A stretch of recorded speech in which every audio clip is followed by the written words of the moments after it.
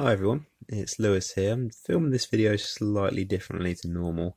I've got quite shaky hands because I'm holding my phone camera because I wanted to do an update video on the Lego Falcon. And uh, it's getting pretty heavy now so it's hard to actually show uh, properly on the webcam that I normally use. So I thought I'll film a quick video as an update with my phone. And plus the picture quality on my phone is much better up close than the uh, webcam is. So this is the this is the update. I was going to do some more today, but I thought I'll do an update now because I've hit quite a good point with it. So this is the first lot of bags that are numbered one to four. So there's um, four sections basically, and there's about four or five bags in each one. So um, I've done the interior, and I'm starting to work on uh, some of the exterior as well. So we've got the front part here. Um, I, I, can't remember if I did it in the last video, but there it is anyway. Um, and then we've got some of the interiors here. So we've got the uh, the little front room bit. Um, there's a little spinny chair here, and there's a couple of stickers there as well. Um, I like I said before, I hate stickers. There's a little seating area with a little chess game they play. I can't remember what it's called now, but uh, you can see the stickers where where the little corridors would go. Um, but yeah, I've done I've done quite well with these stickers so far. They're they're really difficult. Once you put them on, they're really hard to get back off.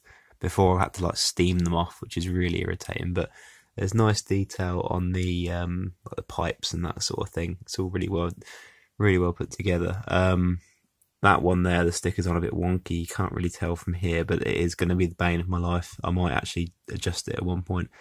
Um, I think those are printed pieces there directly ahead. Um, but yes, you've got the little doors and that. It's the interior here. Um, that's that bit slides open, the gun bit pops down, but I won't show that now because it's going to be very difficult to do with one hand. Um, this is the last interior room here, um, which has got nothing in it, which is a bit confusing because the way this the way this is put together is that you um, build the interior and then they go in underneath. You you pop them in underneath the thing, and then you push those bits these bits here uh, in, and it locks them in place. Um, you can see this one here. There's a couple of bits there that lock it in. So I'm guessing something else is going to go in that room because it looks very bare at the minute, and you can see some bits that are still exposed. Um, so yeah, so that's that's been the main part of it. So that's the building on the top there. And I've just started doing these bits here, which are the exterior um, and the outer plating, which is the first time that sort of the outside of the ship has actually come into play.